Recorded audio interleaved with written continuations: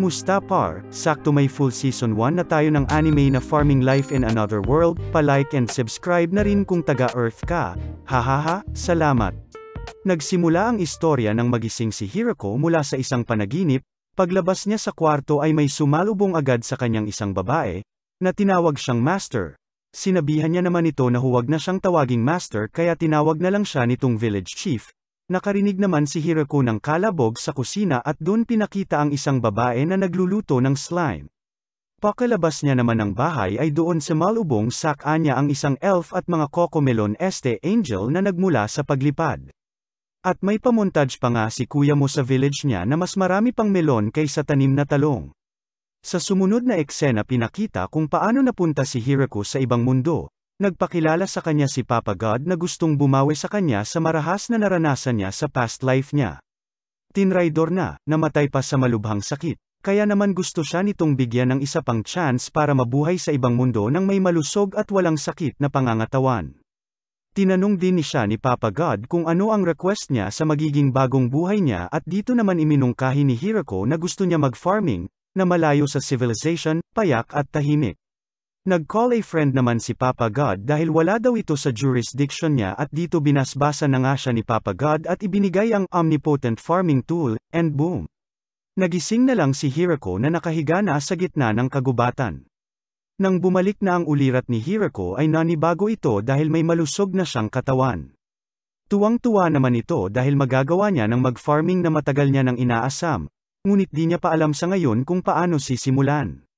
Napansin niya din na bumata siya at todo outfit na para sa pagsasaka pero wala pa siyang gamit, kaya doon niya naalala ang omnipotent chuchu na sinabi ni Papa God at lumabas nga ang isang asarol na kinamangha niya. Hindi rin siya napapagod kahit anong bangkal niya ng lupa na lubos niyang kinatuwa. Pagkatapos nito ay inexplore niya na ang kagubatan para maghanap ng pagkain at tubig, dito pumukaw sa atensyon niya ang isang malaking puno at napagdesisyonan niya na dito na mag-set up ng magiging base niya. Ngayon na may base na siya ngunit wala pero nahahanap na source ng tubig, naisip niya na lang na maghukay hanggang makahanap nito. Dito ginamit niya ulit ang impotent chuchu at nag-anyong pala para sa paghuhukay. Sa sobrang tuwa niya kakahukay since di nga siya napapagod gawa ng powers niya ay napansin niya na lang na di na siya makaakyat sa hukay, kaya naisipan niya na baguhin ang approach niya at maghukay ng padiagonal at dito nagtagumpay na siyang maabot ang tubig. Ngayon ang sumunod na target ni Hirako ay pagkain naman, at dito niya napansin na di rin siya nagugutom na maaaring kagagawan din daw ng omnipotent chuchu powers niya. Kaya naman ay nagpatuloy na lamang siya sa pag-set up ng base niya, isang puno naman ang nakaharang sa pagtataniman niya kaya pinagplanuhan niya ang pagputol dito dahil mukha daw itong matibay. Nilabas na niya ang palakol at hinampas na ang puno, ngunit sa gulat niya ay naputol agad ito sa isang wasiwas niya lang, pati pagbalat at pagputol sa mga ito ay parang cheese na nga lang daw na lubos na kinatuwa ni Hirako. Manghang-mangha din siya sa powers niya dahil basta napipicture niya sa isip niya ay nagagawa nitong mag-transform dito. Ngayon ang prinblema naman ni Hirako ay kung papano i-build ang mga ito hanggang sa di niya na mapansin ang oras at paggabi na, at dito niya na-realize na kailangan niya ng ilaw para sa gabi. Tinray niyang maglabas ng lighter at posporo gamit powers niya pero walang lumabas, hanggang sa naglabas siya ng magnifying glass na di rin niya magamit dahil inabot na siya ng gabi. Sa huli ay tinapyas niya na lang ang babang parte ng puno bilang silong at nag-ukit na lang ng mga gamit sa gabing yun. Kinaumagan, diretsyo na siya sa paggawa ng apoy gamit ang magnifying glass at pinagpatuloy niya na din ang pag-clear ng paligid. Sa puntong ito ay nakaramdam na din ng gutom si Hirako, hindi dahil sa trabaho kundi dahil sa pagpapapalit-palit niya daw ng powers niya. At dito bigla siyang dinambahan ng isang kakaibang rabbit na sa gulat ni Hirako ay napatay niya. Ayun nga at diretso barbecue, na lasang Mother Nature daw ika ni Hirako, nagpasalamat naman siya dahil at least daw ay edible ito. Pagkatapos kumain ay diretso gumawa si Hirako ng toilet dahil napoops na nga siya, ngunit ayaw lumabas dahil open na open ito kaya agad din naman niyang ginawa ng pader na kahoy, at sa wakas, nagplak na ang imbotido sa balon. Nagpatuloy na nga sa pag-set up ng taniman niya si Hirako at madami na din siyang planong itanim dito, hanggang sa inabot na naman siya ng dapit hapon at saka lang niya na-realize na wala pala siyang mga buto na itatanim dito, kaya itinulog niya na lang muna ito. Kinabukasan, Sa gulat niya ay may mga tumutubo na napananim sa taniman niya kahit wala naman siyang tinanim na buto kaya dito niya naisipan na maglagay na ng bakod para maprotektahan ang taniman niya. Unti-unti na ring tumubo ang mga pananim ni Hirako sa pagdaan ng mga araw, at nagawa niya na ding gumawa ng hut. Medyo diskumpiyado pa siya sa nagawa niya pero mas okay na din daw yun kaysa naman nakatira sa ilalim ng puno. Isang araw ay may nakita si Hirako na magjowang aso sa labas ng bakod niya. Mukhang mababait naman kaya pinapasok ito ni Hirako at pinakain ang nahuli niyang baboy ramo. Napansin niya din na bundat yung isang aso hanggang sa mag-umpisa na itong mag-labor dahil buntis pala ito. Sa taranta niya ay dinala niya na lamang ito sa hut na kagagawa niya lang, at si Hirako pa nga tuloy ang na-stress para sa magjowang aso, inabot na nga sila ng gabi at balik ilalim puno si Hirako habang nag-aalala parent sa mga aso. Kinabukasan, si Hirako lang naman, may-ari ng buong farm, may-ari ng hut, ay magalang na kinatok ang hut para i-check ang mga aso. Doon na bumungad sa kanya ang successful delivery ng mommy aso sa mga babies nito. Ang malupit pa dito ay may pa-breakfast pa ng best parts ng baboy ramo ang magjowa na aso. Nagdaan ang mga araw at doon na nga namalagi ang mga aso, si Hirako na nahiyang paalisan sila, kaya siya na nag-adjust at gumawa na ng panibagong tirahan para sa kanya. Medyo may hiya din naman pala tong mga aso, sila na naghuhunt at nagpapatrol na din sa paligid. Pinangalanan na din sila ni Hirako kaysa naman daw aso lang tawag niya sa mga ito. Unti-unti na din siyang umaani na lubos naman na nagpasaya kay Hirako. Pinakita na inuobserbahan peren ni Papa God si Hirako mula sa realm nito. Nag-aalala ito dahil nga sa mali ang nabigay niyang buhay kay Hirako noong una at ngayon ay conscious na tuloy si Papa God. Hindi daw kasi pwede pakialamanan ang buhay ng tao once na nabigay na ito, kaya naman binigyan niya na lamang si Hirako ng choice sa panibago niyang magiging buhay sa kagustuhang bumawin nito sa kanya. Bigla namang natigilan si Papa God nang matanto nito na napadala niya pala si Hirako sa delikadong kagubatan na tinatawag na Forest of Death. Natarante ito at sinabing papabalikin niya na lamang si Hirako ngunit hindi nga pala pwede dahil nasimulan na ang buhay nito. Inisip na lang ni Papa God na pag namatay naman ito ay mapupunta ulit ito sa kanya at magso-sorry na lang ulit siya. Inisa-isa ni Hirako ang mga natutunan niya so far sa paggamit ng omnipotent farming tool niya. Una ay ang nakakapatubo ito ng pananim kahit walang buto, kagaya ng sibuyas, patatas, repolyo, at kamatis. Napansin niya din na kung ano ang iniisip niya na itanim habang gamit ang tool ay iyon din ang tumutubo dito. Sobrang bilis din ito tumubo kaya di niya matapos video sa recap candy kaya nagsusubscribe na siya diretso. Baka naman, ehem, sa bilis ding tumubo ng patatas ay na-expose ang bunga nito sa araw kaya naman ginawa nito ng paraan ni Hirako sa pamamagitan ng paglagay ng pasobrang lupa sa ibabaw nito. Wala pang kaalaman sa pagfa-farm si Hirako kaya matututo na lang daw siya mula sa mga pagkakamali niya. Bilang pasasalamat naman niya kay Papa God at sa God na may jurisdiction sa agrikultura, ginawa niya ito ng estatwa. Masaya si Hirako dahil simple lang ang buhay niya dito. Simpleng nilaga na rabbit na may bagong ani na mga gulay, wala nga lang seasonings, at least daw organic. Wala ding sayang dahil napupunta ang iba sa mga spoiled este mababait niyang aso. Sinubukan niya na ding magtanim ng mga fruit-bearing trees sa labas ng bakod niya para naman daw maiba sa diet niya.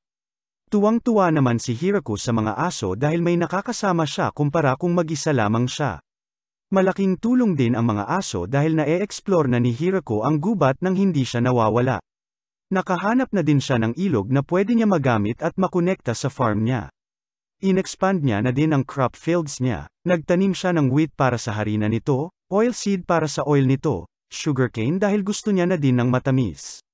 Nagtanim din siya ng soybeans para daw makagawa siya ng edamame na kinalungkot niya dahil kailangan niya ng asin dito ngunit wala siya nito. Nagdaan ang mga araw at nagsimula ng lumamig ang paligid. Nag-aalala naman si Hirako dahil hindi niya alam kung gaano kalamag umaabot sa mundong iyon at wala rin siyang makakapal na damit. Nagsimula na siyang maghanda at sinubukan niya ang balat ng rabbit ngunit nangangamoy ito. Isang araw, tinawag siya ng aso niya at may kasama na itong malaking gagamba, Kumaway ito kay Hirako sabay nagpasikat at gumawa ng panyo, at may embroidery pa nga ng sarili niya.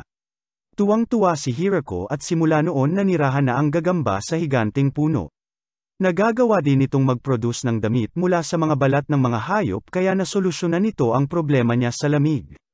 Pati na rin mga gamit niya sa bahay na kailangan ng tela ay basic lang dito. Kaya naman pinangalanan na ito ni Hirako at tinawag na Zobitan.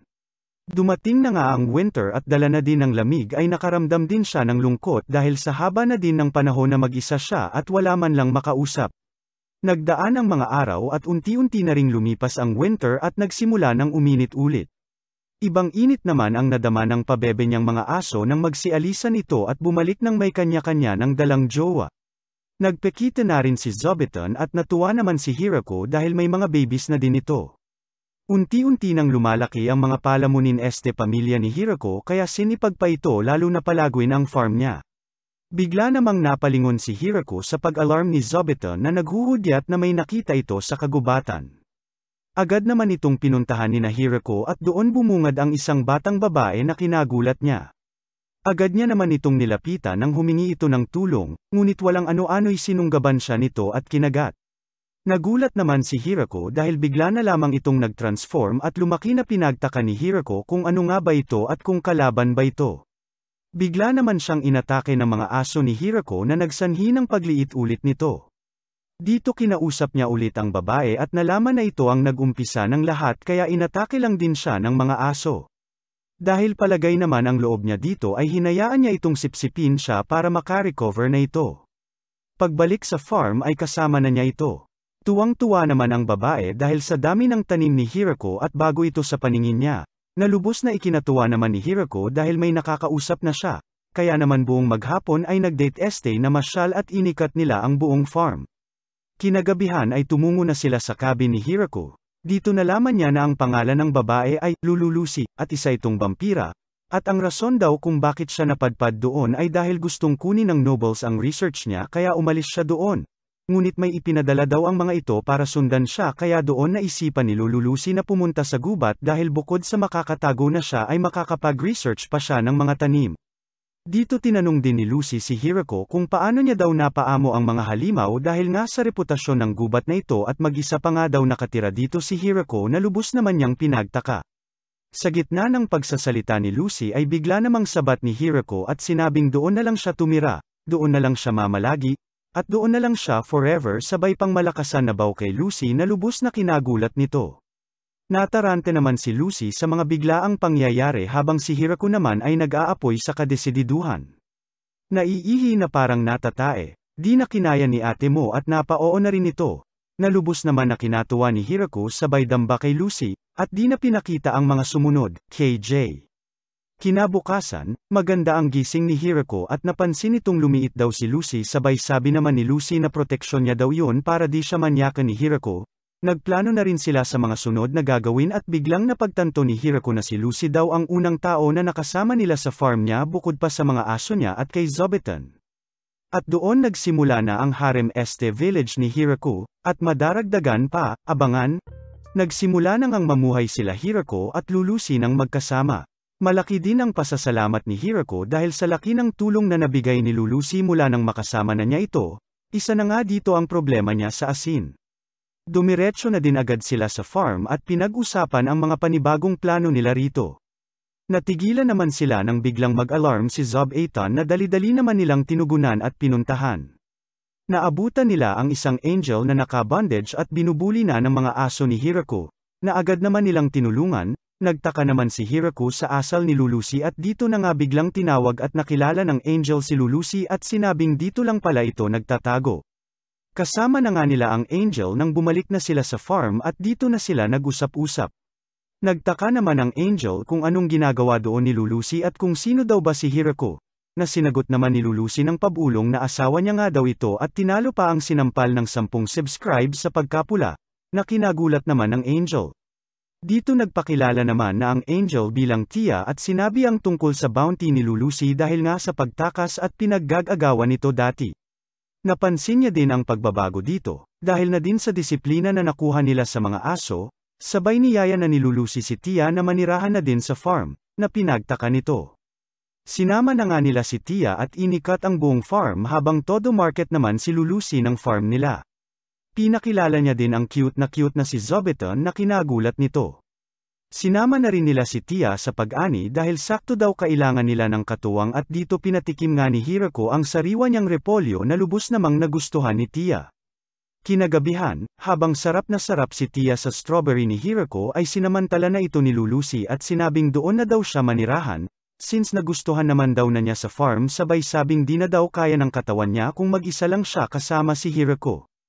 Wala naman nang nagawa si Tia at dito na nga ito nanirahan kasama nila. Tuwang-tuwa naman si Lulusi dahil may katuwang na siya. Tinanong naman ni Tia kung pwede ba daw damihan nila ang tanim na strawberries na pinabulaanan naman ni Hirako dahil kulang sila sa manpower plus sino daw kakain pag masyado marami, na nagpaisip naman kay Tia. Dumarami na din ang mga aso nila. Sabay pa dito ang mga bagong tuta, kaya para tugunan ito ay gumawa na rin ulit si Hirako ng panibago nilang tirahan at lugar para sa kanila. Nagbiyabay na din ibang anak ni Zobitan habang ang iba naman ay naiwan kasama ang mommy Zobitan nila. Nagpolem din pansamantala si Tia at babalik din naman daw agad. Makalipas ang ilang araw, nakabalik na nga si Tia sa farm, ngunit may mga kasama na itong mga babae na nagpakilalang mga elves. Nakiusap ang mga elves na doon na sila patirahin pagkatapos e-recruit nga ni Tia at doon na nga daw sila lumipat, sabay sumulpot si Tia at sinabing may malungkot itong backstory, kunti na lamang ang lahi nito dahil na rin sa gyera at wala na ding permanenteng tirahan kaya kung saan-saan na lang napapadpad. Kailangan daw nila ng lugar kung saan sila mamamalagi at makapagpaparami.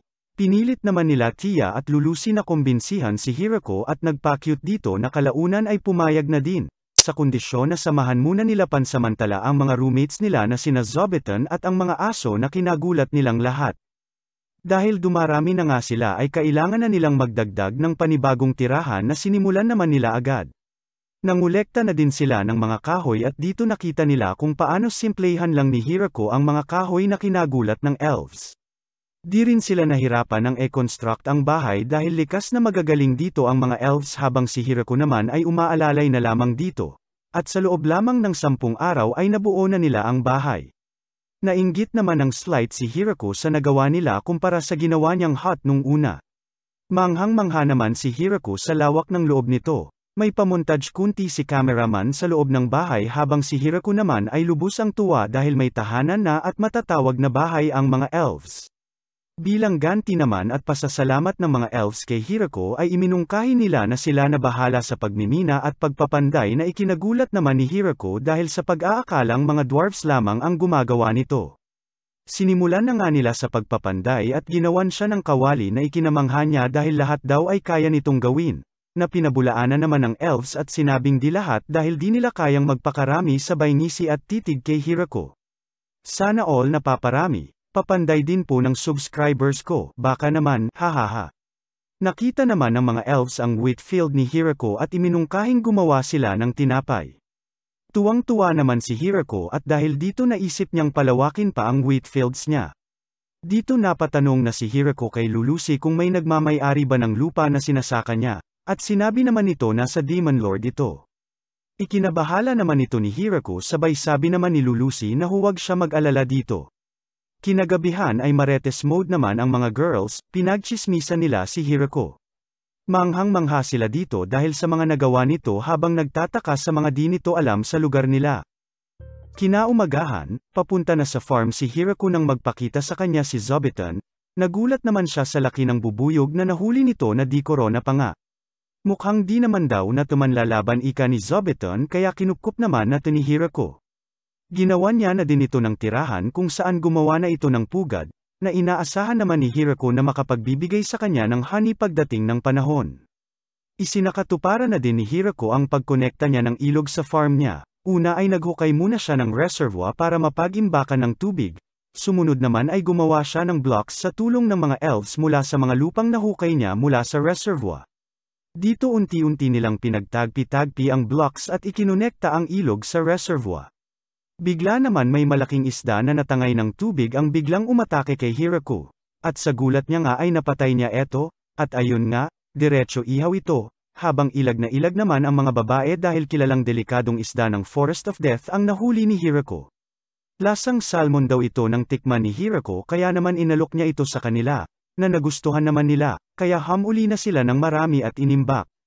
Sakto naman since may supply na silang tubig ay naisipan ni Hirako na gumawa na ng palayan, dito ay sinimulan niya na i-layout at hukayin ang palayan at nang matapos na niya ito ay pinadaloy na niya ang tubig na kokompleto sa palayan niya. Pagkatapos ay hiningi na niya ang tulong ng mga elves at nagsimula na nga ang mga itong magtampisaw sa palayan. Ipinamahagi niya dito ang mga palay kung saan tulong-tulong nilang tinanim. Inatasan niya naman ang mga babies ni Zobiton bilang pest control ng palayan. Kung gaano kabilis ang first time mo, ay ganoon din kabilis tumubo ang mga palay nila Hirako. Ganoon din kabilis ang anihan parang reply niya dati sayo, at ganoon din kabilis na tuyo, Nakakita lang ng ibang magogoyo, boom. Joke lang, anyway. Nang matuyo na ang mga palay ay nagsimula na silang ihiwalay ang mga buto nito, at ay sila ang mga ito para palay na lang ang matira. Nakaramdam naman ng kaginhawaan si Hirako nang makita na ang finished product dahil sa dami ng proseso nito. Sa huling hakbang naman ay inumpisahan ng isaing ni Hirako ang kanin. Ipinaliwanag niya din kila Lulusi, Tia, at Leia ang lahat ng step dito at hiningi ang tulong ni Lulusi para magsimula ng apoy. Nang maluto na ang kanin ay binilog-bilog muna ito ni Hirako at gumawa ng onigiri tsaka ipinatikim kila Lulusi, na lubos naman nilang nagustuhan. Nainggit naman si Hirako nang makita ang mga elves na madali lang nalilinis ang katawan nila gamit lamang ang magic ng mga ito, kaya naman nagka-idea si Hirako na gumawa ng paliguan, at dito kinausap niya na nga ang mga baby niya at nagplano. Nagsimula naman agad sila sa paggawa nito katulong ang mga elves, ngunit may isang problema si Hiraku, at yun ay ang dumi na binabalik nila sa ilog. Dito iminungkahi ni Tia na gumamit sila ng slime bilang natural na kumakain ng mga dumi at agad naman itong umalis at naghanap nito. Nang makabalik ito ay nilagay naman agad ni Hirako ang mga slime sa purification pool na ginawa niya para dun linisin ng mga slimes ang dumi nila. Nang matapos na ang bathhouse ay sinimula ng ipaliwanag ni Hirako ang proseso ng paggamit nito. Iminungkahi naman ng elves na ipakita na lang sa kanila ni Hirako dahil di sila pamilyar dito, na malugod namang pinagbigyan ni Hirako. Tutok na tutok naman ang mga elves habang nagpapaliwanag si Hirako. Napasarap naman ang suwong ni Nick sa bathtub at nakalimutan na ang mga elves, nang bigla na lang nagsiliparan ang mga damit sa paligid at umatake ang batalyon ng Cocomelon. Nailang naman si Hirako dahil napalibutan na siya ng mga ito at walang magawa. Sana all na naman, hayop ka Hiraku, animal ka. Kinabukasan ay may bagong batch ng elves ang dumating at dito iminungkahi naman ni Leia na gumawa na lang ng panibagong tirahan para sa mga ito. Kasabay na din ang pag-improve ng kasalukuyang tirahan ni Hiraku, at dito sumang-ayon naman si Hiraku sabay sigaw ni Leia na simulan na nila ang paggawa ng bahay, para masimula na din ang paggawa ng babies na hanggang ngayon ay ipinagtataka ni Hirako. Hirako, isa lang masasabi ko, animal ka. Anyway, pasabog naman si Kuro, isa sa mga aso ni Hirako, dahil nagkaroon ng POV niya, dito ikwenento niya ang buhay niya bago na-meet si Hirako. Di pa raw siya natatalo kahit kailan hanggat sa makilala niya jowa niya at matalo nito. At ayun na nga, nejantes niya ito. Habang naglalakbay naman sila ay nakasagupa nila ang tinatawag nilang grappler bear, ang hari ng kagubatan ika ni Kuro, dito natalo sila nito ngunit di sila pinatay. Ngunit dahil sa malubha silang nasugatan ay nahirapan na silang maghunt hanggang sa mapadpad sila kay Hirako at doon na nga yung nangyar sa part 1, kaya pala sugatan silang dumating. At hanggang ngayon wala pa ring idea si Hirako na sila ay delikadong monsters na tinatawag na Inferno Wolves. Wala na din namang pakialam dito si Kuro dahil gusto nito si Hirako at nagpapasalamat ng lubos na napunta sila rito. Natapos na nga ang renovation ng dating pucho-pucho na bahay ni Hirako na lubos na kinatuwa nito. Manghang-mangha din siya sa kinalabasan ng interior nito dahil sa lawak at ganda nito. Tuwang-tuwa din sila lulusi dahil may kanya-kanya na silang kwarto, Iba din talaga mag-effort ang mga elves hanggang sa makita ni Hirako ang kakaibang kwarto na mukhang uubusin at pipigain din talaga ang effort sa katawan ni Hirako sakali mang magkamali siya na pasukin ito. Sana all na lang talaga. Sumalangit kaluluwa mo Hirako. Matapos magikot sa bahay ay nagutom na nga mga palamunin este housemates ni Hirako at doon niya nga naisipan na magluto ng curry. Dumiretso na sila sa farm para kunin ang mga ingredients na kakailanganin para rito. Una na nga rito ang cumin kung saan responsable daw sa aroma na nilalabas ng curry. Sumunod naman ay ang turmeric na isa naman sa main ingredient ng curry na nagbibigay at pinagmumula ng kulay nito. Isa rin sa mga sangkap nito ang coriander kung saan didikdikan nito hanggang maging powder. Kasama na rin ang cilantro na nadiskubre nila na ayaw ng mga aso. Huli naman sa mga sangkap ay ang cayenne pepper at black pepper. Matapos nga makumpleto ni Hirako ang mga sangkap sa curry ay sinimulan niya na agad ang pagluto rito, kung saan nandoon din si Leia para tulungan siya. Sinimulan na nga nilang lutuin ang curry, naggisa, pinaghalo-halo ang mga sangkap, may recipe naman ata nito si Ninong Rai, doon na lang natin panoorin iba, hehe. Ayon nga at natapos na nila ang pagluto ng curry. Nanibago at nagtaka naman ang girls sa itsura at amoy ng curry kaya sinabihan sila ni Hirako na huwag mag-alala dahil matsarap ito. Nang matikman na nila ang curry ay sobrang nagustuhan nila ito. Napapikit nga lang ng saglit si Hirako ay nakapila na ulit ang mga ito para tumakal ulit hanggang sa maubos ito at tinapay na nga lang matira kay Hirako. Papalapit na nga ang winter kaya nagsimula na si Hirako na mag-prepare para dito. Nag-imbak na siya ng maraming kahoy, sabay binigyan niya na rin ng mga pagkain si Zobiton para sa hibernation ito kapalit naman ay mga extra kumot na hiningi niya dito. Sinalulusi naman at Tia ay inatasan niya na i-preserve ang mga pagkain nila habang ang mga elves ay may kanya-kanya ring tinatrabaho. Hinanda na rin ni Hirako ang magiging imbakan nila ng mga gulay sa panahon ng winter. Habang pinagmamasdan naman sila lulusi na gumamit ng magic ay napaisip ito na sana ay nakakagamit din daw siya ng magic kagaya nila. Kinagabihan, ay nagmoment sila lulusi at Hirako, ngunit tungkol nga lang sa magic, sinabi ni Hirako ang pagkamangha niya kila lulusi at Tia dahil sa mga magic nito at kung paano niya sinusubukan na gayahin ito ngunit nagmumukha lang siyang timang. Minamaliit din ni Hirako ang mga ginagawa niya, keso nagtatanim at nagluluto lang daw siya na pinabulaanan naman ni Lulusi at sinabing sila ang namamangha sa kanya dahil sa mga nagawa niya rito kahit noong nag-iisa pa lamang siya. Dumating na nga ang taglamig, parang Valentine's lang, at dahil nga dito, para masaya naman, bukod kay Hirako na alam naman natin na masaya sa harem este buhay niya, ay gumawa ito ng mga mapaglilibangan nila. Una na dito ang reversi, pati na rin set ng mahjong at chess. Bago ito kila lulusi kaya ipinaliwanag ito sa kanila ni Hirako pati na rin mga rules nito na agad naman nakuha ni Tia. Bida-bida namang hinamon ni Lulusi si Tia sa larong reversi at nang bandang matatalo na siya ay gumamit na lamang ito ng classic na, ay natapon yung board, teknik ngunit di talaga manalo-nalo dito. Nagtungo naman sa kabilang kwarto si Hirako at doon inabutan na naglalaro din ng reversi ang dalawa pang elves habang kino-coach ni Kuro na lubos na kinagulat ni Hirako dahil naiintindihan nito ang laro. At lalo pang nagpagulat kay Hirako ay ang nag-aapoy sa tinding labanan sa chess ng dalawa niya pang aso sa tabi ng kwarto. Biglang lumutang naman si Lulusi at bida-bida na namang nakipag-chess sa aso ni Hirako na sinubukan niyang pigilan at ayon nga, dinurog ng aso sabay moment sa kanto. Kalaunan ay naglaro na din si Hirako kasama sila Tia at Leia, pati na rin si Kuro, sa pagnanais na maibawi man lamang si Lulusi. Malaki daw ang tsansa niya na manalo dahil komplikado nga daw ito na laro at bago pa lang sila Tia sa larong ito, hanggang sa nagpakitaan na sila ng kanya-kanya nilang hawak na kahit ako di ko din alam kung ano basta natalo at nadurage nila si Hirako, kung saan si Kuro pa nga ang nanalo at binasek lang sila. Sumunod ay naglaro naman sila ng bowling na pinakagusto ng Tres Marias sa lahat ng laro. At ayun na nga naging routine nila buong winter hanggang sa magtaginit na. Pakalabas nga nila ng bahay ay bumungad na agad sa kanila ang munting kampana ni Zobiton na ikinagulat nila. Doon na nga natanong nila mula sa malayo ang isang dragon, na pinabulaanan naman ni Tia at sinabing isa daw itong wyvern. Isang dragon o wyvern ika ni Tia na nga ang lumusab sa lugar nila Hirako. Nagsimula na nga itong atikihin sila na dinipensahan naman agad nila Tia at Lulusi ngunit masyado itong malakas at tumagos peren ang atake nito.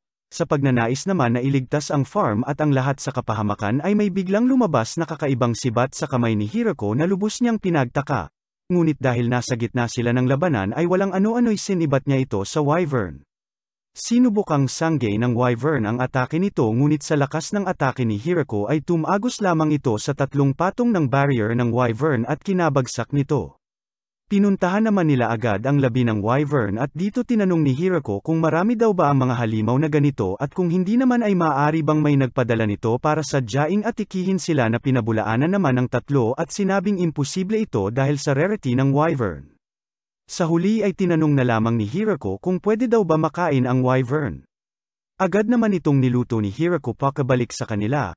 Inilarawan naman nila ang karne ng wyvern bilang delicacy, na sa sobrang sarap nga daw nito ay maging mga hari ay pinapahunting pa ito para lamang matikman at makakain ng karne nito. Dito pinagpiestahan na nga nilang imukbang si Hirako este luto ni Hirako at sa sobrang sarap nga nito ay mukhang may ikukulong na sa extra room sa second floor, panuorin ang part 5 para maggots, hahaha. Lingid sa kaalaman nila Hirako, ay nabalita sa mga kalapit na kaharian ang tungkol sa pagkamatay ng isang wyvern, isa na rito ang demonic kingdom of Galgardo sa kanluran kung saan nabahala ang mga ito sa pangyayari, sa timog naman ay ang gatekeepers dragons na nakasaksi din at nabahala sa lakas ng kapangyarihan ni Hirako. Habang sa sakahan naman ni Hirako ay prinuproblema nito na bagamat masarap ang wyvern ay may kulang pa daw, at yun nga ay ang alak. Kaya naman iminungkahi ni Hirako na gumawa sila ng alak na lubos naman na kinasabik ng lahat. Sinimulan na nga nila sa pag-harvest ng mga ubas, Matapos nito ay kailangan na nilang pipiin ang mga ito para makuha ang sariwang katas ng mga ubas, kaya naman gumawa sila ng isang platform para dito, kung saan dito nila aapakan ang mga ito hanggang mapiga, habang si Hirako naman ay nag-aabang sa baba, taga-salo ng katas nila. At may TikTok session pa nga ang mga ito para sabay-sabay at nasa rhythm sila. Inabot na nga sila ng dapit hapon sa pagpiga ng mga ubas na umabot ng labing anim na bariles. Mukhang may planong lasingin itong mga girls, haha. Samantala, sa realm ng mga Diyos, ay pinapagalitan naman si Papa God ng anak niyang Diyosa ng Agrikultura, dahil nga sa pagkakamali nito sa unang naging buhay ni Hirako, pati na rin ang pagpadala nito kay Hirako sa Forest of Death, at isa pa nga rito ay ang pagbigay ni Papa God kay Hirako ng replika ng makapangyarihang Holy Lance Grime, na nagdedrain ang buhay ng kung sino man ang gumagamit nito, Sabay litanya naman ni Papa God na binigyan niya naman daw ng malusog na katawan si Hirako kaya mabilis itong nakaka-recover, na lalo pang kinainis ng Diyosa. At ang lubos na nagpainit nga ng ulo nito ay kung bakit daw ba kasi matandang hakluban ang ginawang estatwa ni Hirako para sa kanya. Natigilan sa paggagansilyo ang cute na si Zobiton at pinatunog ang alarm niya. Kaya agad namang nagpunta sila Hirako sa gubat at doon nga nakita at nakilala ni Lulusi ang kapatid niyang babae na si Flora, kung saan sinundan niya daw ito nang malaman niya na pinahabol ito sa isang walang pusong anghel. Dudang-duda naman si Flora sa kung paano daw ba naging asawa ng kapatid niya si Hirako. Kaya pinagyabang naman ni Lulusi na si Hirako lang naman ang master ng mga Inferno Wolves at nakapatay lang naman ng isang wyvern, sabay malupitang baw ni Flora. Nagtaka naman si Hirako dahil Inferno Wolf daw pala si Kuro sabay pabuga nito ng apoy at pasikat kay Hirako. Bilang bawi naman daw kay Flora sa sinapit nito kila Kuro sa gubat ay pinagluto niya ito ng pagkain na lubos namang nagustuhan ni Flora. Ipinaliwanag din ni Hirako kay Flora kung paano niya nagawa ang ilan sa sangkap ng kanyang kinakain na lubos na pumukaw ng kuryosidad nito.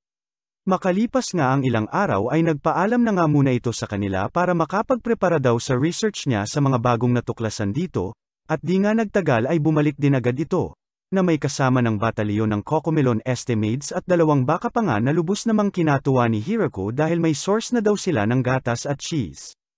Nainggit naman si Tia at umalis muna, at nang makabalik ito ay may kasama na itong kapwa niya Angel at mga lizardmen, at may manok pa nga na dala. Dami talaga gusto mapunta sa extra room, hahaha.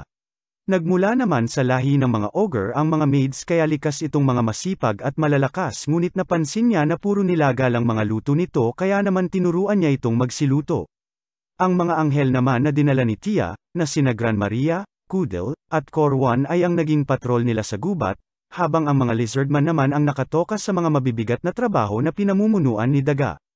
Sumulpot naman bigla si Leia na may dala na namang sandamakmak na palamunin este melon este elves at pinagtaka naman ni Hirako kung bakit daw ba walang lalaki na elf, malungkot namang itong sinagot ni Leia at sinabing wala na daw nakasurvive na lalaki sabay kabig naman nito na okay lang daw dahil pwede naman na sila magparami at sabay palibot kay Hirako. Pasubscribe sa mga gustong maging Hirako, haha. Makalipas ang ilang araw ay nagpatawag ng pulong si Hirako kung saan iminungkahi niya na pangalanan na nila ang kanilang lugar since lumalaki na nga ito. Dito nagbigay sila ng kanya-kanya nilang suhestyon hanggang sa nagtaas na ng kamay si Zobiton at tinuro ang pinto na pinagtaka naman ng lahat, na kung saan bumungad sa kanila ang malaking puno kaya doon, tinawag na nila itong Great Tree Village. Bilang selebrasyon naman, nagkaroon sila ng munting party at dito nga tinawag na nilang mayor si Hirako, habang sila Lulusi naman at Tia ay nagwalwal buong magdamag. Tinawag na nga nilang Great Tree Village ang lugar nila at tinalaga ng Kanor Este Mayor si Hirako. Wala naman daw pagbabago ika ni Hirako hanggang sa isang araw ay may dumating nang ang kinatawan ang Demonic Kingdom na nagngangalang Bizel at hinahanap kung sino ang leader nila, at bilang paggunita ng kanilang pagkakakilanlan ni Hirako ay may gift nga ito na lubos namang nagustuhan ni Lulusi. Dito inihayag na nga ni Bizel na pinadala siya ng Demon Lord upang pag-usapan ang status ng kasunduan ng pagtira nila Hirako sa lupang yon. Buong tapang naman na naghayag ng kanyang alok bilang mayor si Hirako at sinabing handa silang magbigay ng 10% ni Tag-Uro, este ng mga ani nila bawat taon na sinang-ayunan naman agad ni Bizel na may halong pag-aalala pa nga kung okay na ba daw te kay Hirako. Gumawa na din sila ng kasulatan ukol dito at umalis na ito ng may dalang regalo mula kila Hirako.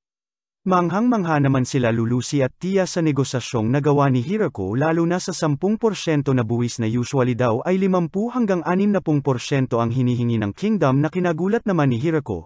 Kalakip na rin dito ang proteksyon ng kingdom since taxpayer na sila. Samantala, gulat na gulat naman ang mga taga-kingdom sa pag-ayon nila Hirako kahit sa kabila daw ng lakas nito na kayang sumugpo ng wyvern, dodang-duda pa nga ang mga praning na kesyo may alter motive daw sila Hirako. Sabay litanya pa nga ni Bizel na wala daw siya nagawa sa negosasyon dahil nandoon daw ang Vampire Princess, ang pinakamalakas na anghel, army ng High Elves, lupo ng Inferno Wolves at ang pinakanagpayanig ng itlog ni Bizel na trio nga daw ng Killer Angels.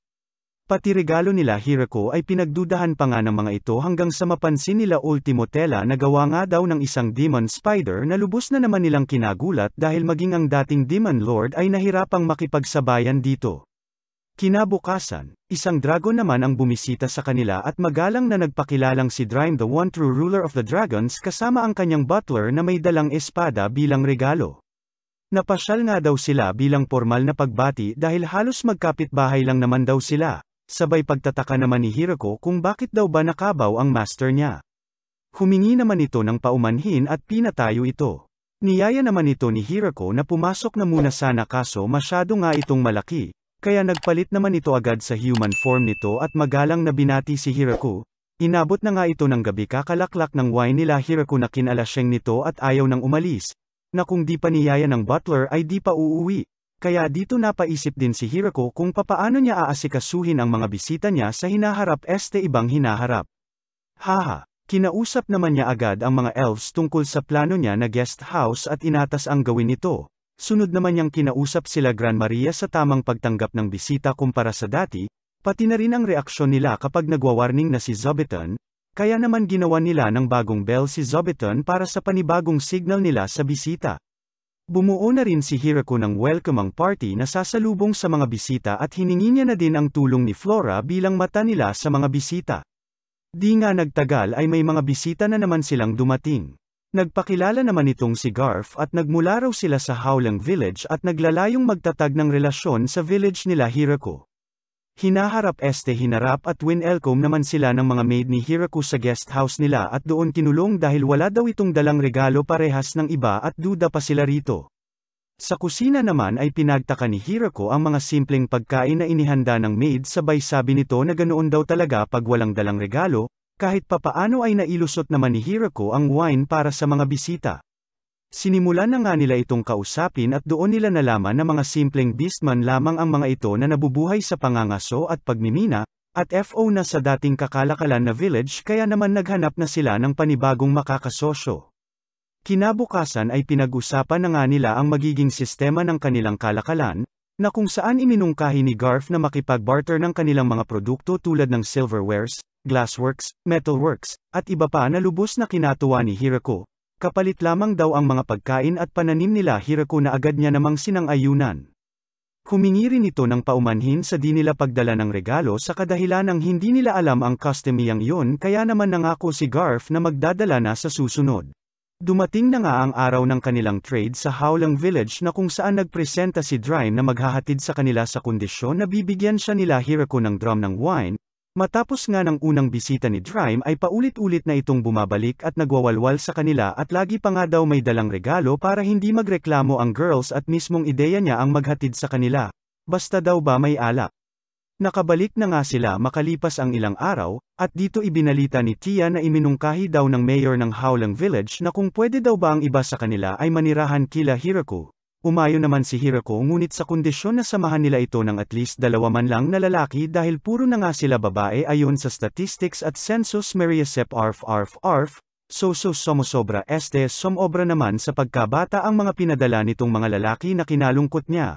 Malungkot ka pa talaga sa lagay na yan Hiraku, hype ka.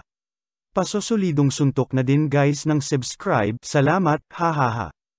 Dumating na nga sa Great Tree Village sila Arf Arf Este Sena kung saan winelcome sila ni Hirako at pinagkatiwala kay Lemulias na house manager ng village.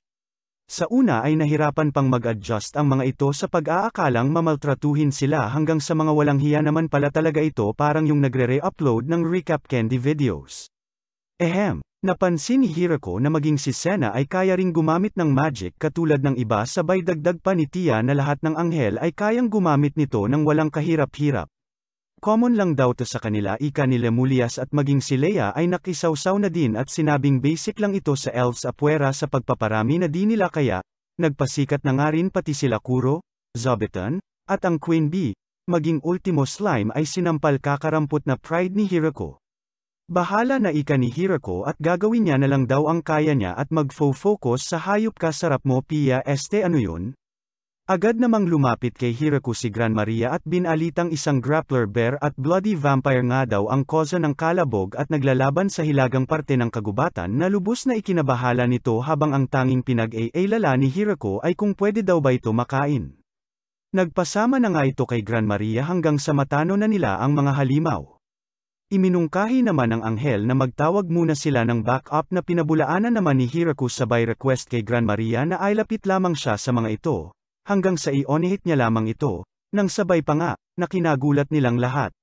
Diretso Arinola Este Cacerola na naman nga ang mga ito kay Hiraku, kung saan hinaluan niya ito sa pagkakataong ito ng wine na pinagtaka ng mga maid niya, at tinawag niyang wine-braced grappler bear ngunit masyado daw makunat. Sumunod niya namang niluto at tinawag na chicken fried bloody viper ang karne ng viper na lubhang nagustuhan naman ng tatlong anghel.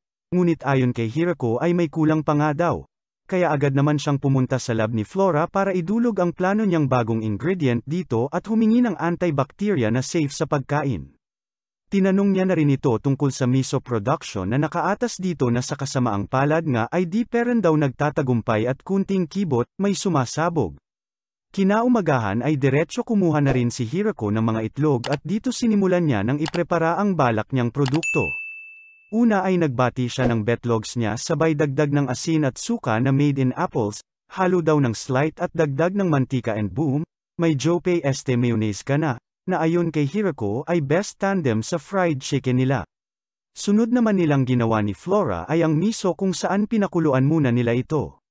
Sunod ay tinuruan niya ito ng tamang paghimas este pagbayo ng soybeans sabay tamang pagpalo with fillings. Halo ng konting koji with salt sabay bilog dito para makagawa ng bol-bol. At sa huli ay nilagay nila ito sa barriles at dito hahayaang mag-ferment na kung saan mas matagal nga daw ay mas masarap ika ni Hirako. Biglang tawag naman si Lulusi kay Hirako at sinabing may mga bisita raw ito at dito bumungad kay Hirako ang grupo ng mga dwarves na pinamumunuan ni Donovan, at ang layon nga daw ng pagpunta nila ay ang wine nila Hirako na binara naman agad ng mga Maria dahil di daw ito libre. Kaya dito iminungkahi ni Donovan na wala man silang pera ay maaari nilang tulungan sila Hirako sa paggawa ng alak base sa nalalaman nilang teknolohiya at pag-aaral dito gamit ang mga pananim ni Hirako. Agad naman nilang sinimulan ang paggawa ng alak gamit ang mais na lubos na nagustuhan ni Hirako. At magmula noon ay nanirahan na nga ang mga ito sa village nila Hirako bilang kanilang brewers. Kinagabihan ay may paparty na naman si Mayor Mong Kanor Este Hirako bilang paggunita at pag-welcome sa mga dwarf at beastmon sabay pamudmod ng bago nilang gawang alak pati na rin mayonnaise. At since may alak, papahuli ba naman si Drime, walwala na ito. Haha, nagpasalamat naman si Donovan dahil sa pagtanggap sa kanila ni Hirako, sabay tanong naman ni Hirako dito, lalaki sa lalaki, na sa dami ng babae sa kanila e eh kung may pumukaw man lang ba ng atensyon niya. Nahihiyang sumagot naman ito na masyado pa raw itong mga bata para sa kanya at type niya daw may balbas, hehe.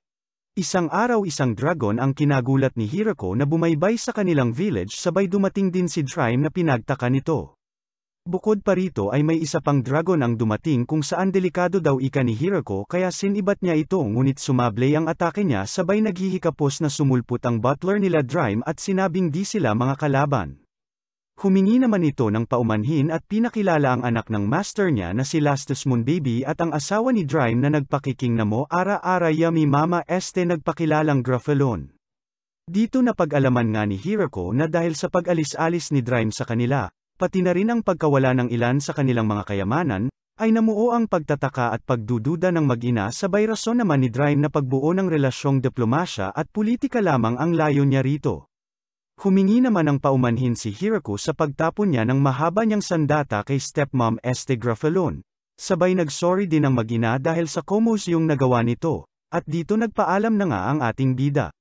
Biglang seryoso mode naman si Tatay Dry mo sabay sabi sa asawa nito na ngayon daw ay alam na nito kung bakit ginagawa ito lahat ni Dry, na sinang-ayuna naman agad ni Grafalon, kung saan mismong siya ay nakasaksi sa lakas ni Hirako, na kung hindi pa siya sinalba ni Zobiton ay deadgok na sana siya ngayon. Dito inatasan na nga ni Grafalon na magstay na muna rito si Lasty dahil di nila pwedeng baliwalain lamang ang lakas ni Hirako, at siguraduhin niya raw sa lahat ng kanyang makakaya na masarapan este mabantayan si Hirako. Pisti ka talaga Hirako, sayo na lang lahat na hayop ka. Tinanggap naman agad ni Hirako ang mungkahi ni Lasty, iba din talaga, at dito nagsimula na nga itong manirahan sa kanila. Medyo di lang nito makambyo pang maayos ang lakas nito na sa simpleng baing nito ay naglilikha ng pagsabog, maging mapupulang kamatis ni Hirako ay pisak kay Lasty, na lubos na kinabahala nito. Namuo na rin ang takot sa mga hayop maging kila kurusan hinga ng pagtira ni Lasty sa kanila. Takot pala talaga ang mga taga rito sa dragon ika ni Hirako kay Tia sabay dagdag ni Tia na bukod sa malalakas ito ay puno rin ito ng kaalaman at karunungan, di nga lang halata kay Drime, na nagpaisip kay Hirako. At yun na nga ay ang gawin nitong representative nila para humarap kila Bizel. Gulat na gulat naman si Bizel gawa ng isang dragon na nga ang humarap sa kanya. Puro oo na naman ang takot na takot na tatay mong Bizel sa kung ano lamang ang kayang ibigay ng village sa kanila hanggang sa makauwi na nga ito kasama ang ibang praning na general at may pamiting na naman. Kung saan inilahad ni Bizel na unti-unti na nga daw lumalakas ang puwersang militar ng village nila Hirako. Dagdag pa rito ang dragon na nakaharap niya. Dito iminungkahi naman ng ibang general na maglagay daw sila ng spy sabay sabi naman ni Bizel na siya na ang bahala, buhaha. Plano nga ni Bizel na ay planta ang mismong sarili niyang anak na si Florem sa village ni Hirako para mag-imbestiga, lalo na ang lakas militar nito, na agad naman itong sinang-ayunan. Pumunta na nga ito at nag-teleport sa village nila Hirako upang magsimula ng kanyang investigasyon. Winelcome naman siya ni Lasty bilang tagapamahala ng diplomatic relations ng village na kinagulat ni Florem dahil isang Lasty agad, kilalang dragon dahil sa lakas nito, ang bumungad agad sa kanya, Tinar naman siya nito sa village na lubos na pinagtaka ni Florem na kesyo bakit ang isang legendary na dragon ay nagdadadada tungkol sa mga simpleng pananim. Tinawag naman ni Gran Maria si Lasty kaya dito nakabuelo na ng ikot sa village si Florem. Dito nakita niya na nga ang iba't ibang lahi na nakatira dito, maging ang pinakanagpayanig ng itlog ng tatay niya na trio ng Killer Angels, pati na nga rin daw ang mga elves na kilala sa pangingidnap ng mga lalaki na kinagulat ni Florem. Maging mga demon spiders tas inferno wolves na nagpayanig ng kulangot ni Florem. May padrawing na nga ito ng hierarchy nila sa village at mayor na nga lang ang wala at saktong napadaan naman si Hirako na tinarayan lamang nito. Nang makausap niya ulit si Lasty ay saka lamang niya napag-alaman na yung tinarayan niya ay ang mayor ng village na si Hirako nga, na lubos na kinagulat nito. Napag-alaman na rin ni Hirako na anak ito ni Bizel at pinagtataka niya nga kung bakit mong tanga ito pagkaharap siya. Unti-unti na ngang dumarami ang anak ng libog na mga slimes nila Hirako na tinalo pa ang kuneho sa pagpaparami. Okay lang daw ito ika ni Hirako dahil harmless naman daw ang mga ito hanggang sa may isang lakas amats na slime ang lumaklak ng isang drum ng wine na lubos nilang kinagulat at kinagalit. Sa gigil nga ng mga ito ay nagkaroon pa ng paglilites para lamang matugunan ang issue, iminungkahi naman ni Hirako na ikulong na lamang ito bilang parusa, Hanggang sa magsalita naman si Florem at sabihing slime lamang ito at wala naman mababago kahit parusahan ito, na abswelto naman ang slime hanggang sa ayon, kasakasama na nila sa bawat walwalan, palaban sa laklakan. Dumating na nga ang tagtigang este taglagas kaya naisipan ni Hirako na magpa-hotpot sa maiinit niyang housemates. Nabanggit niya rin sa mga ito na mas okay sana kung may seafood ang hotpot nila, lalo na't nagpapatigas este nagpapasarap ito lalo rito, na lubos namang pumukaw sa kuryosidad ng mga ito, sabay sausaw naman ni Florem at sabing kung gusto raw nila ng mga seafoods ay may alam itong syudad parting timog lamang ng kanilang nayon. Sakto naman daw at may kakilala siya ritong mga ngalakal kaya doon ay nagkasundo sila na dayuhin ang syudad para lamang sa ikasasarap ni Hirako este ng hotpot ni Hirako, hehe. Kinabukasan ay diretso biyahe na nga ang mga ito na kinamangha naman ni Hirako, dahil basta raw ba pagdating sa kainan ay palaban at hindi nagpapahuli ang mga ito, nalubos namang kinakatuwa ni Hirako. Ikaw na happing hayop ka, sana all kinakain este may pakain, hahaha. Makalipas ang 3 days ay kasama na nga ng mga sag-apa ang mga ngalakal na nabanggit ni Floren na si Michael Goron mula sa pantalan ng Sha Chateau, na kung saan hatid nito ang samit-sari niyang mga kontrabandong isda sabay sabing ihabol na lamang daw nito ang seaweed na request nila Hirako. Iminungkahi na rin ni Michael ang tatlong pangunahing layon niya sa pagbisita at iyon nga ay ang mabati at mapasalamatan ng personal si Hirako sa negosasyong nagawa nito, pangalawa ay ang palawigin pa ang kalakalan nila, at ang pangatlo naman ay ang proposal nito na gawin siyang official government purveyor ng nayon nila Hirako, na kung saan ito ang magiging tagapamagitan ng lahat ng kalakalan ng Great Tree Village sa outside world. Dagdag pa nga ni Michael na kung sakaling pumayag ang mga ito ay sisiguraduhin niyang doble-doble ang kikitain nila kumpara sa kasalukuyang pangangalakal nila, na nagpaisip naman kay Hirako, inabot na nga sila ng hapon sa kadadada ni Michael, at nagawa pa nga nitong isingit ang kalakal nila sa alak na binara naman agad ng dragon, na kinagulat nito sabay batsi na. Mukhang okay naman daw ito ika ni Hirako, na sinang-ayunan naman nila Lulusi at Tia, at mukhang di naman daw sila lolokohin nito dagdag pa nga ni Tia. Habang papalayo naman sa village si Michael habang sakay ng dragon ay unti-unting lumabas ang kulay esteluha nito sa mga mata at nakaraos na nga. Sabay pa flashback ng kung ano ba ang nangyari tatlong araw earlier, haha. Dito nalaman ni Michael na may bisita na naghahanap sa kanya. Sa una ay isinasawalang bahala lang nito ang pagdating ng mga dayo sa kadahilan ng busy nga raw siya hanggang sa gumana ang ultra instinct sabay urong ng lahat ng uurong sa kanya at sinabing masama ang kutob niya kung sakaling di niya i-entertain ang mga ito. Hinarap na nga niya ang mga ito at sa gulat niya ay nandito ang anak ni Bizel na kung nagkataon ay pugot ulo sana siya kung inesnob niya. Mas kinagulat niya sabay labas ng kunting igit nang malaman niyang kasama nila ang baliw na dragang si Lasty na anak ng isa sa mga pinakamalalakas na pamilya sa Demonic Kingdom. Eagles daw kung sakaling makipagkalakalan sa kanila. Pinakita na nga nila Lasty ang mapupula nilang mansanas na lubos na kinagulat ni Michael, dagdag pa rito ang galek na naramdaman nito dahil tiba-tiba siya kung sakaling makalakal niya raw ang mga ito, from Eagles to winner ang pudra mo, haha. Wala nang patumpik-tumpik at inutos na ni Michael sa alip oras nito na ihanda lahat ng kailangan na seafood nila lasty fresh from pantalan, pinahanda na rin ito ang mga gamit niya dahil siya raw mismo personal ang maghahatid ng mga ito sa baylingon kila lasty na tinalo pa ang unang sogo este sweldo ninyo sa kasiyahan, haha. Bumiyahe na nga sila Michael at makikita mo ang galek sa mukha nito habang nasa biyahe habang unti-unti namang nakikilala ang mga tropa ni Hiraku, este mukhang traumatic experience pala, haha. Sariling puri naman ito dahil nakasurvive raw siya sa nakakakilabot na grupo nila Hirako at naitawid ang negosasyon ng may ngiti sa kanyang mga labi.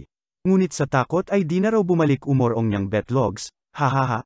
Samantala sa Harem Este Village naman ni Hirako ay nilalantakan na nila ang hot pot with sariwang seafood sponsored by nangangatog peren hanggang ngayon na kuya mong Michael.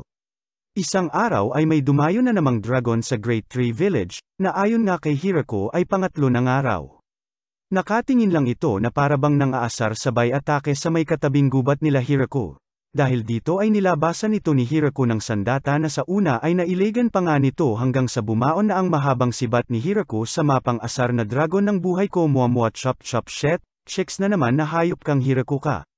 Biglang dumating naman si Drime at dito nalaman ni Hirako na ang pangalan ni Lablab Este nito ay Hakyuran, nakakatandang kapatid ni Drime, at kaya raw ito nandito dahil gusto nitong makilala ang future husband ni Lasty na sinabi raw ni Drime.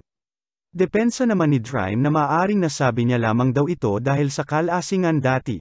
Sabay bara naman ito sa atin niya nagalit lamang ito dahil mauuna pa makapangasawa pamangkin niya. Dito nagdadadada na nga si Babe at sa inis ni Hirako ay pinalinis niya na lamang ito ng pinasabog nito sa gubat.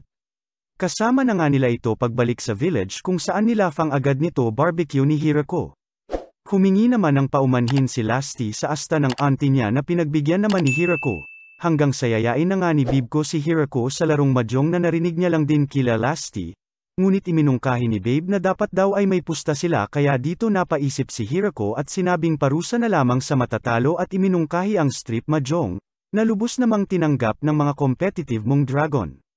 Basagang puri na nga sa tindi ng laban nila habang ang bida naman natin ay seryosong seryoso sa laban at nag-aalala pa nga kay Bibko dahil kunti nga lang daw damit nito pero bakit parang masyado peren daw malakas ang mga loob nito, masyado raw itong mga competitive kaya medyo alalay lang daw siya at ayaw niyang masaktan ang mga ito.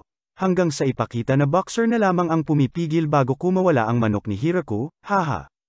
Ginawa ng lahat ng ating bida ngunit olot speran, at dito lumaya na nga sa pagkakakulong ang talong ni Lolong. Ha ha. Samantala, may meeting na naman ang mga praning na kuno'y dumagdag na naman lakas nila Hirako dahil sa namataan ang ancient dragon na si Hakiran sa Great Tree Village. Dito pinakilala na nga rin ang Demon Lord na si Galgardo na ang prinuproblema naman ay ang nagdadalaga at nagre-rebelde niyang anak na kesyo di daw siya pinapansin. Patuloy naman sa kaningan ang mga general habang ang isa ay nag-resign na, hahaha. Namalagi na nga si baby ko sa Great Tree Village hanggang sa siya na ang maging opisyal na teacher ng Great Tree Village.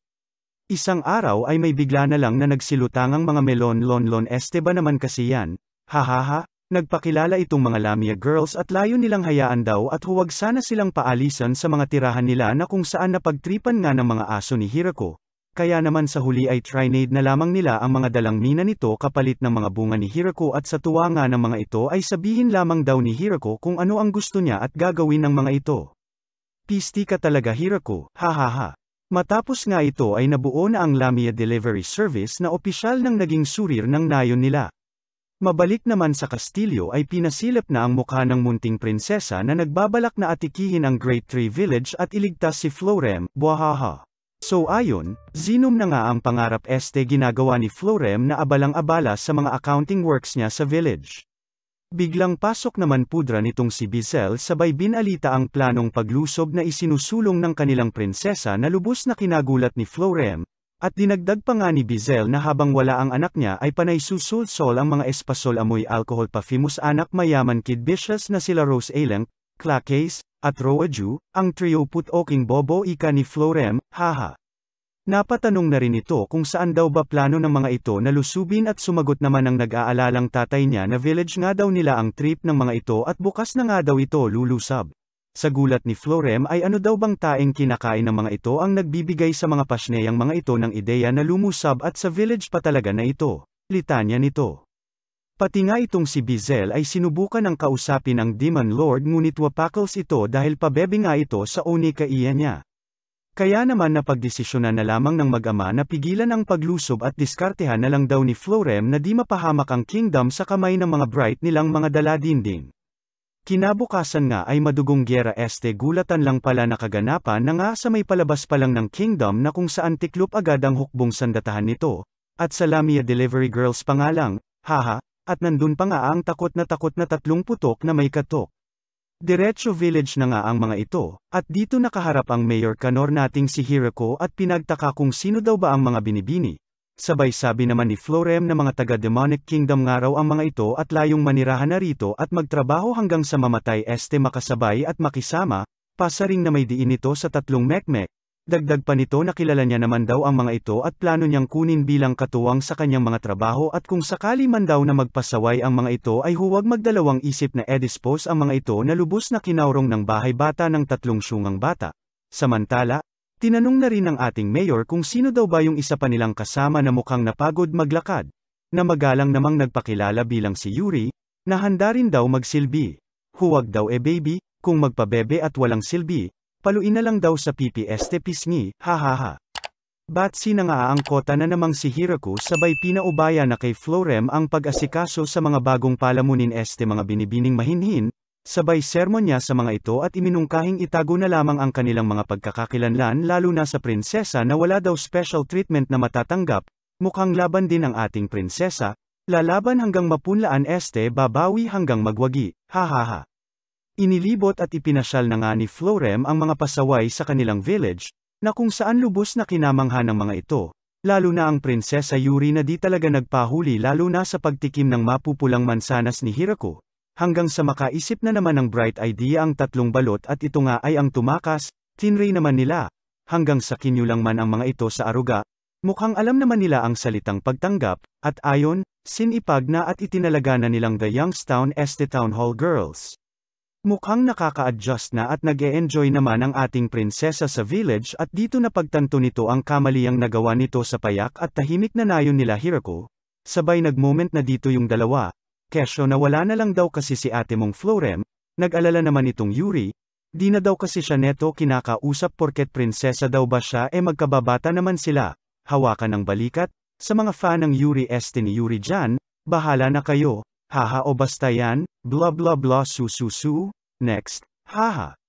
Ito na namang tatlong ito, o basta painom-inom ang mga hayop, nakita nila Hirako, next, haha, biglang lutang naman si Lulusi na kung saan napansin naman agad ni Hirako na may kakaiba raw dito, sabay sabi naman ni Lulusi na medyo paypalya-palya transformation niya nitong mga nakalipas na araw, nako, alems na this, haha. Kinabukasan ay nagsimula na ring tumulong ang Prinsesa Yuri sa mga gawaing pisikal sa farm na lubos na kinagulat ng tatlong baylat dahil pang slap soils lamang daw ang mga gawaing iyon. Hanggang sayayain na ang tatlong primadona ng prinsesa at wala nang nagawa. Dumating na nga ang araw na kinailangan ng umalis ng Prinsesa Yuri at lubos naman ang pasasalamat nito sa kanila, habang ang tatlong ito ay tanging lubos na kasugapaan ang ambag at hindi na nga sumama sa pag-uwi. Ito talaga certified na mga palamunin, hahaha. Ilang araw nga makaalis si Yuri ay nagsimula na silang mag-imbak ng mga pagkain dahil papalapit na naman ang winter, gulat naman ang bumungad kay Hirako sa dami ng kanilang naani kaya naman iminungkahi ni Lasty at Hakyure na ibigay na lamang ang ibang sobra sa mga kapamilya nila. Nagtungo naman agad si Lasty kay daddy niya sabay dumaan na rin kila Michael para ambunan rin ito ng kanilang ani, Nagpatulong na rin ito sa kanya na sugpuin mga umaaligid na halimaw sa pantalan nito kaya naman pakabalik ay may dala na itong karne ng halimaw na pinapaluto nito kay Hirako. Samantalang si Haruken naman ay diretsyo norte na nga para dalhan din ng foods ang kanyang mga magulang. Pakabalik ni Hakyuran ay may dala na nga rin ito. Mga bagong palamunin este palaman na naman sa harem ng hinayupak na animal na pasimpleng manyak na Hirako kang inemo. May paisip-isip pa siya o kung tatanggapin na pisti, ay sorry, gigil, hahaha. Kunting pa-cute sila ate mong mga mountain elves at ayon, tumigas estelam ambat na naman ang marupok na Mayor Canor na may pa-fundador na naman for sure. Pakitang gilas naman nga agad ang mga ito na kesyo mga ngasoraw sila kaya kayang-kaya nilang maghunt ng sarili nilang pagkain, at ayon, at nang tanging dungis lang ang nakukuha ay eksena na naman ito kay Hirako sabay sausaw sa ginagawa nitong paso, at nang mabatid na kailangan ni Hirako ng tulong ay bida-bida na namang nagpresente na sila na lang bahala maghanap ng clay at sa mga paso nito. Matagumpay naman itong nakabalik daladala na ang finished products na lubos namang kinatuwa ng bida natin. Hinay-hinay te, buhos ka naman agad, mahaba pila sa hinayupak na yan, hahaha. Isang araw ay may binalita naman ang elves na may namataan raw itong dungeon sa may parting norte nga lang daw nila kaya dito iminungkahi nila na bumuo ng survey party para imbestigahan ito. Nabuo na rin ni Hirako ang matagal niya nang ninanais na sa paradong paliguan para sa mga lalaki. Samantala sa labas ng paliguan nila Hirako ay may nahuli at namataan si Florem na tatlong tiktik na layon nga lang daw na tulungan na maligo si Hirako. Naalibadbara na talaga ako sa tatlong ito, feisting episode ito, hahaha. Kinabukasan nga ay nakabalik na ang survey party at iminungkahing magpadala na agad ng extermination party sa napuntahan nilang lugar sa kadahilanang may blood viper nga raw dito na importante nga daw na masugpo nila. Pinagtaka naman ni Hirako kung bakit daw bagigil ito sa nananahimik na Blood Viper sa lugar na yon hanggang sa ipinaliwanag niya na ang karne daw kasi ng Blood Viper ay mainam sa paglalabing-labing at sa pagpaparami at sakto pa. Pa-winter na na nagpatameme sa ating bida, puksa ka Hirako, hahaha, animal kang hayop ka, hahaha. Isang araw naman habang papalapit na ang winter ay nabalitaan ni Hirako na may sakit daw si Lulusi kaya pinuntahan niya ito. May sinat nga daw ito at medyo nahihilo, Dagdag pa ng mga kasama nito na nahihilig daw ito sa maaasim kamakailan na sinang-ayunan naman ni Lulusi, hanggang sa mapagtanto nila na may taning na pala ang buhay nito. Ilang araw na lang mabubuhay.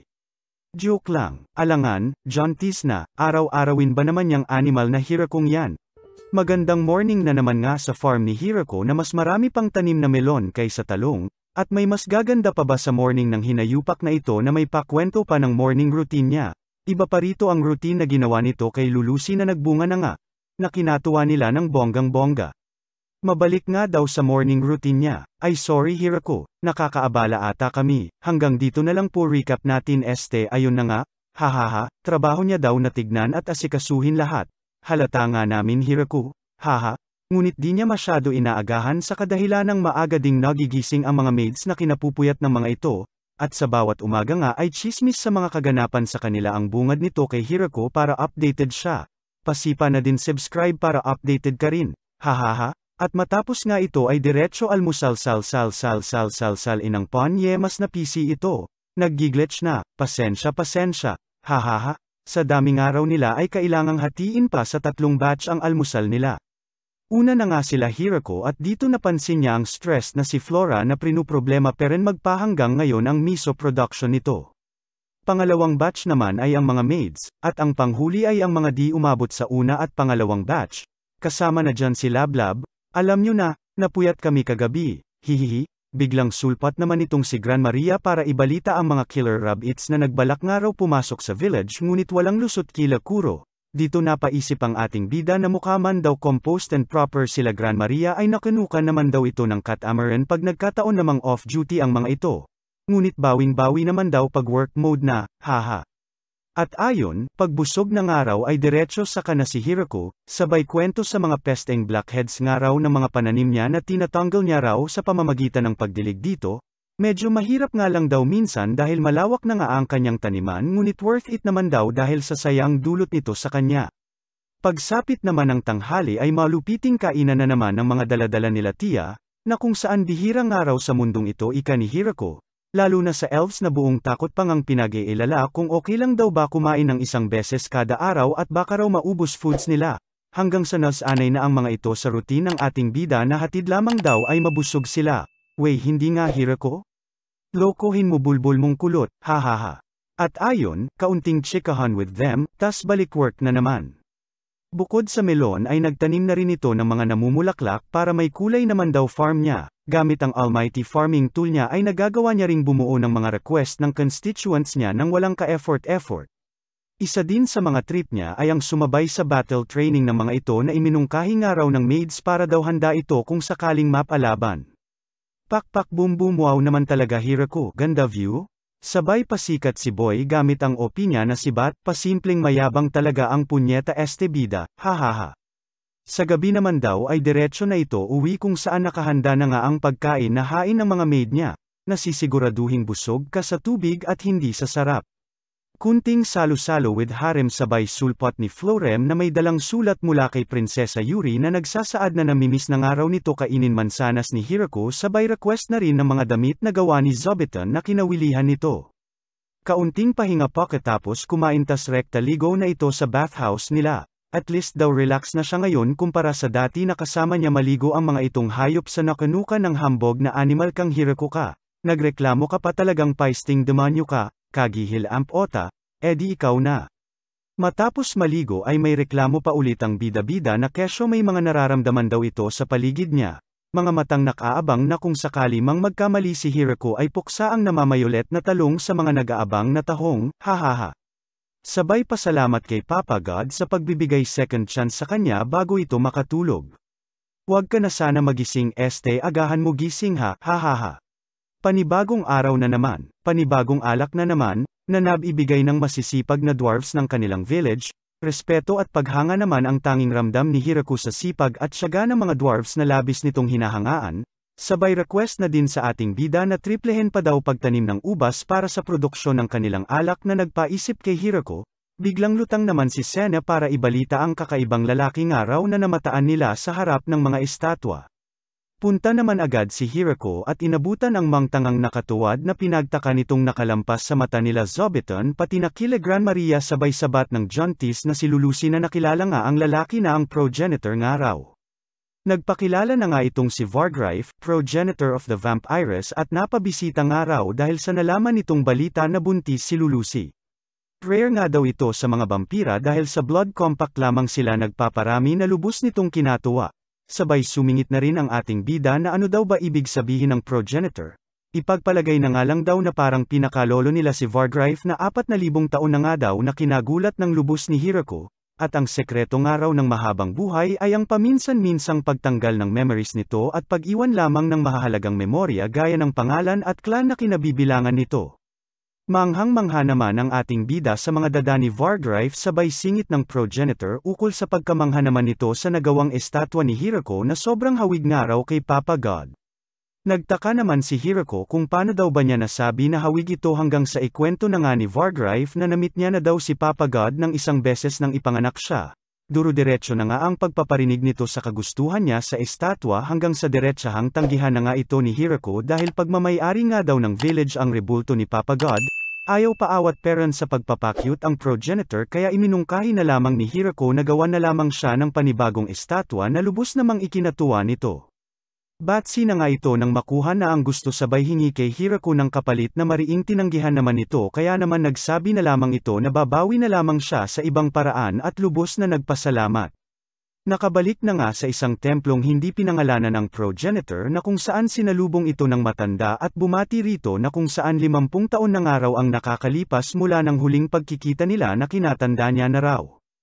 Kaunting kwentuhan sa mga nakalipas na mga pagbabago at kaganapan habang wala si Vargrife hanggang sa isingit na ni Vargrife ang isa pang araw na magbabago simula ngayon, at ayon nga ay ang paglagay ng rebulto na dala niya sa templong iyon at ilagay nga raw sa pinakamagandang pwesto sa templo. At wala nang ang nagawa ang matanda at tinanggal na lang nila ang dating estatwa nila sa templo at ipinalit ang rebulto ni Papa God, na kung saan iniutos din ni Vargrife na ipaalam sa mga karatig templo na bigyang respeto si Papa God pati na rin ang Great Tree Village nila Hirako. Samantala sa village naman nila Hirako ay may papiano na ang John Tees na padalang araw ni Vargrife, regalo raw nito kay Lulusi sa pagbubuntis nito at di dahil sa estatwa. Inilagay na rin nila ito sa dining hall nila kung saan naispatan na naman ang tatlong bugok na kinamangha ng mga ito dahil sa di daw pangkaraniwan ng piano, Once in a lifetime nga lang daw ito at kung sakaling matugtog nila ito ay magiging matunag din daw mga pangalan at maipagmamayabang nilang kabobohan talaga ng mga bobo, hahaha. Ngunit sa sobrang sosyal nga ng piano ay takot ang nang ibabaw sa mga pasosyal sabay request pa ng mga walang hiya kay Hiroko na ikuha daw sila ng piano kahit daw tsararat basta mapagpraktisan nila. Pinagbigyan naman ito ni Hiroko at pinahanap si Michael ng piano hanggang sa dumating na ito sa kanila na lubos na kinatuwa ng harem niya. Sa sobrang willy ng mga ito sa piano ay maging sa gabi ay nagpapatugtog pera ng mga ito na di nagpapatulog sa buti nga sayong pabidang animal na kumag ng inamong hayop ka, hahaha. Natapos na nga ang tagsibol at nagumpisa ng manampal init sa nayo nila Hirako, sabay na rin ang pagbunga ng hayop sa lulusog na jambang talong sarap itortang mga yan. Patorta na rin po nito este tinawag na nga si Hirako ng juntis niyang lablab na si Lulusi para manang hal iyan todo asikaso pero nito kay Hirako sa kabila ng pagbubuntis nito na pinag-alala naman ng ating bida, litanya naman ni Lulusi na dagdag exercise na rin ito para sa kanya na magandang araw sa mga buntis ayon na rin sa mga payo ng kanilang mga kasamahan. Inusisa na nga rin ng mga curious nitong kapwa babae si Lulusi sa kung ano daw ba ang pakiramdam ng buntis na sinagot naman nito na parang may dalangalang daw na dalawang repolyo sa iyong tiyan, na kinatuwa ng mga ito sabay alok ng kung anumang maitutulong nila kay Lulusi, bukod dito na inggit lang ang meron, hahaha. Dahil nga sa kabaitan at tulong nga raw ng lahat sa kanya ay wala naman na raw siyang kailangan at nais pa, bukod nga lang daw sa isang bagay na bumabagabag sa kanya, at yun nga raw ay ang hindi siya pwedeng uminom ng alak, na kinalungkot ng mga laklakera, hahaha. Transition ng konti kay cute na cute nating si Zobete na busy na busy sa pananahi, at ayon, isang araw nga ay may iminungkahi sila Grand Maria kay Hirako kasama ang mga lugmok nating girls, na kung saan di na raw nga nila maatim na makita ang kalungkutan sa bawat isa kaya naman kung maaari raw ay ibenta na lahat ng alak sa village nila, na nagets naman agad ng ating bida na for the junties ang ganap ng mga person, dagdag pa ng mga ito na naiisip pa nga lang daw nila na walang alak sa bawat papak nila ay parang nawawasak at sila'y sinasaksak, kaya naman mariing iminungkahi nila Gran Maria na tanggalin na lamang ang alak nang matapos na ang paghihirap ng mga Mariang sa alak ay sarap na sarap. Kaya dito iminungkahi na ng ating bida-bida na since alak naman daw ang pinag-uusapan nila, na kung saan mas sumasarap pag matagal na nakaimbak, ay itabi na muna nila at hayaang maburo ng mas matagal, sa gayon ay mas mapapasarap pa nila ang mga alak, at naiwasan pa nilang uminom, kaya tiis-tiis na munang araw ang mga Mariang uhaw, na masayang sinang-ayunan naman ng lahat. Samantala, lungkot naman ang nadama ng mga dwarves sabay dramang ano raw ba nagawa nilang mali kay Mayor Canor, wala na nga raw umiinom ng mga gawa nilang alak, hanggang sa malaman na nila ang layon ng mga taga-nayon at naglaon ay sumang-ayon. Ramdam na nga ang init sa nayon na maging sina Zobiton ay napapapayong, eto naman sa tubig ay ayaw na umahan. Samantala si Lulusi ay ayon, sa kwarto'y nakalikom dahil na rin sa init ng panahon. Bisita mode naman si Daddy Hirako at nangamusta sa asawa niyang kung kailan nabuntis ay mas lalong gumanda, kasing ganda ng bulaklak na ito na regalo pangaraw nila Tia at Angels na mala aircon sa pagpapalamig ng kwarto, Biglang sulpat naman siya na may dala namang damo sa bote na Secret Elf Mountain Medicine nga raw. Sumunod na rin itong si Lasty na kwintas naman ang dala with Recovery Magic nga raw. Pati ang maid ay may papuding na rin. Damong kinalikot naman ang ganap ni ating elf, apple naman mula kay Lablab ko, hihihi, tomato plus tofu miso soup o tomato fungaraw na pasiklab naman ni Flora, maging sila kuro at mga baby zabutons ay di nagpahuli ay may paregalo rin. Haha, Pinagtaka naman ni Hirako kung saan daw ba nanggaling yung cute na maso na nagmula nga raw kila Donovan ika ni Lulusi at magagamit raw nila someday in the hinaharap. Natae na nga sa daldal ni Hirako si Lulusi este di pala poops. Nagsimula na pala itong mag-labor. Nako, please kunin niyo akong ninong nang makilala ko na si Hacker and baby ko este ayun na nga. Hahaha, aligaga mode na ang mga tao sa nayon, tuwalya rito, mainit na tubig doon, iri dito, samantalang ito, Nasa kwarto niya, ni hawak sa kamay sa asawa niyang sa sakit ay naglulupasay wala. Libog at namamayolet na talong lang ambag ng hayop na yan kahit kailan, ay grabe ba, sa totoo lang. Ayun na nga, tapos na mga nak kaya present na ulit ang sa buong labor ay absent, na kinagulat ang cute este cute na cute sarap pisilin na paisning baby na yan, behave, may baby na, hahaha, unang karga sa unang anak ng ating bida na sobrang naninibago sa hawak nitong sanggol, hanep sa cute ng batang yan, like ang subscribe na rin sa mga gusto magninong, hahaha. Isang linggo na nga ang lumipas at Alfred na nga raw pinangalan nila sa panganay nila. Moment naman ang ating bida sa dami ng araw nang nangyar mula nang manirahan siya sa lugar na ito, at ngayon nga raw ay village na ito na kung saan naging Canor Este Mayor pa nga siya. Plus ngayon nga natatay na rin siya, Biglang napaisip naman si Hirako na di pa nga raw niya napapasalamatan lahat sa sipag at ambag ng mga ito na kasama niyang nagtaguyod ng kanilang nayon, kaya naman kinabukasan ay diretsyo pa-meeting ang kuya mo, kung saan iminungkahi nito ang paggamit ng reward medal na pwede nilang ipamalit sa kung anuman ang gusto nila, sa makatuwid pera. Nabatid nga ng ating bida na darating ang panahon ay kakailanganin talaga nila ang paggamit ng pera lalo na at dumarami na sila at di na ma-accommodate ni Hirako bawat isa na humihingi pa sa kanya ng permiso pag may kailangan ang mga ito na malugod namang sinang-ayunan ng iba. Bukod kay ating elf na bakit hindi na lang daw trade-trade. Paliwanag naman ni Hirako na bawat isa sa kanila ay magkakaiba ang bigay na value sa mga bagay-bagay. Kaya dito papasok ang pera, at isipin na nga lang daw nilang munting mga vouchers ito pamalit, mapamaliit man o malaking bagay basta nais nilang tunay. Ipinamahagi na nga nila ang mga coins na iminungkahi ni Hirako na mano-mano pang ginagawa ng ating bida, maging sila Zobitan at Kuro ay naabutan din. Tig 30 nga lang per pamilya since marami-rami sila bawat pamilya, at ayon, trade ng gamit dito, trade ng wine doon, trade ng weapon naman para sa mga angels, samantalang ang adik na ito, panang display, haha, Kalaunan ay dinagsarin siya ng custom-made furnitures na slight pinagsisihan niya dahil siya rin naman napapagod. Haha, nangangapapangaraw sila sa tamang value ng mga bagay-bagay, kagaya na lang ng request ng batang ito na bigyan nga raw siya ng baby, biglang lutang naman ito syempre usapang baby, sabay tanggi ni Hirako na di nga raw pwede, kaya ayon, rent for a day na nga lang daw para sa mga batang kasiyahan ay mapagbigyan. At syempre, mawawala ba naman ang laklakan? Lalo na sa selebrasyon ng unang kapanganakan. Kitang-kita naman ang galik, sa mga nagtiis at uhaw sa alak, pinagtaka naman ni Hirako ang dalang maso ni Lulusi hanggang sa lumutang na nga ang mga dwarfs bit-bit ang espesyal na alak para sa bagong panganak. Kaya naman drum ng alak, ay diretsyo biyak, sabay halakakon, ng mga maglalaklakan, teka, asan si Drime? Ayon. Ha ha ha. Di ito papahuli pagwolwalan eh, haha, kinumusta naman ni Donovan ang mga bagong magulang at kung nagustuhan ba raw nito ang regalo nitong alak, na di naman masagot ni Lulusi sa kadahilanang nagpapadidi nga ito at hindi ito pwede pa sa alak kaya dito iminungkahi na lamang ng dwarf na itago na muna ang natitirang wine at iburo para mas lalong sumarap na ikinatuwa naman nila Hirako.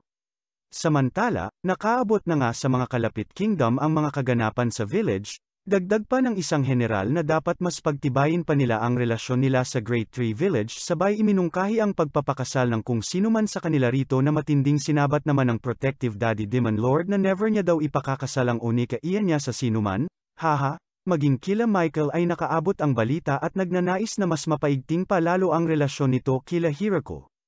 Mabalik sa village nila Hirako na lubos ang kasiyahan sa mga kaganapan, ay ang bungad ng balita mula kila Tia na may mga bagong araw na gustong manirahan sa kanila mula sa ibang kagubatan, dagdag pa nila Baby Hakiren at Florem ang mga nawalan raw ng tahanan dahil sa nakaraan na digmaan, na aabot nga raw ng daan-daan, kaya naman para mapagbigyan at magawa ng paraan ang ikasasaya ng pangkalahatan, ay dito na pag-isipan ng karamihan na gumawa na lamang ng bagong tahanan para paglagyan ng mga bagong meninirahan. Na Great Tree Village No. 2 nga raw. Nangangamoy season 2 na ito, kaya ano pa ang hinihintay este hinihintay nyo, fingerin mo na like and subscribe kung hayop ka. Salamat, love you hahaha.